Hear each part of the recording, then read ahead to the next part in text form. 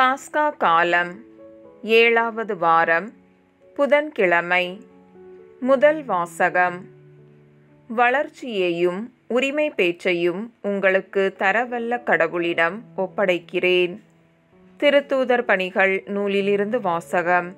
அதிகாரம் இருபது இறை வசனங்கள் இருபத்தி எட்டு முதல் முப்பத்தி எட்டு வரை. அந்நாள்களில் பவுல் எபேசு சபையின் மூப்பர்களிடம் கூறியது தமது சொந்த இரத்தத்தால் தமதாக்கி கொண்ட கடவுளின் திருச்சபையை மேய்ப்பதற்கு தூய ஆவியார் உங்களை கண்காணிப்பாளராக ஏற்படுத்தியுள்ளதால் உங்களையும் மந்தை முழுவதையும் கவனமுடன் காத்து கொள்ளுங்கள்.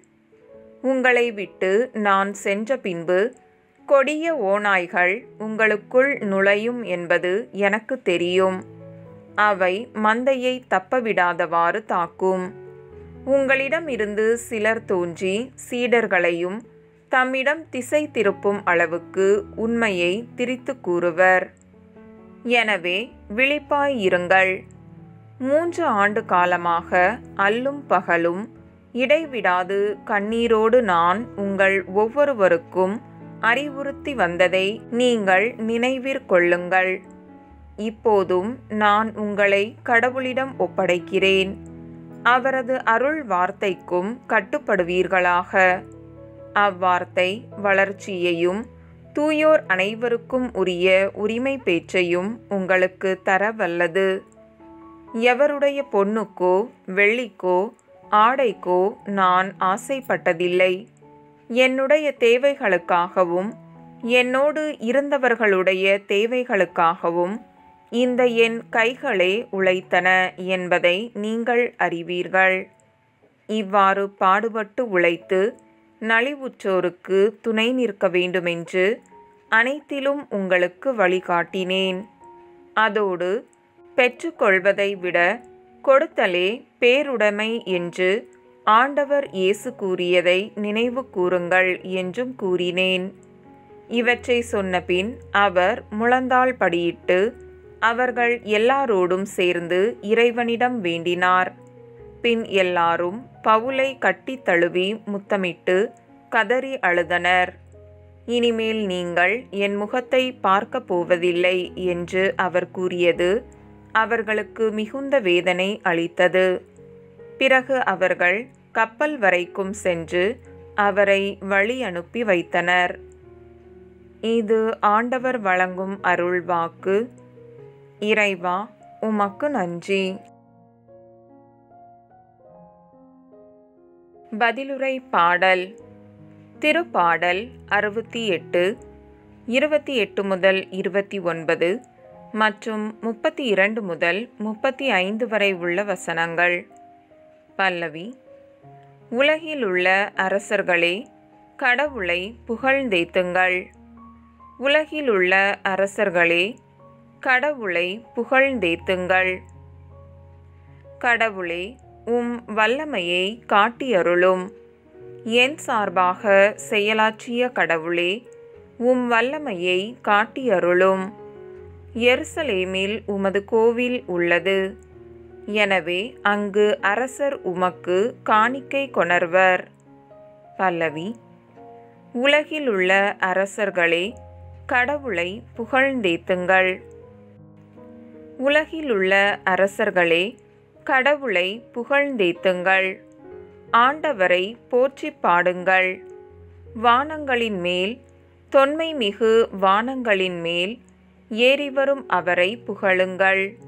இதோ அவர் தம் குரலில் தம் வலிமைமிகு குரலில் முழங்குகின்றார்.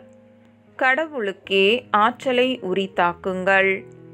பல்லவி உலகில் உள்ள அரசர்களே கடவுளை புகழ்ந்தேத்துங்கள்.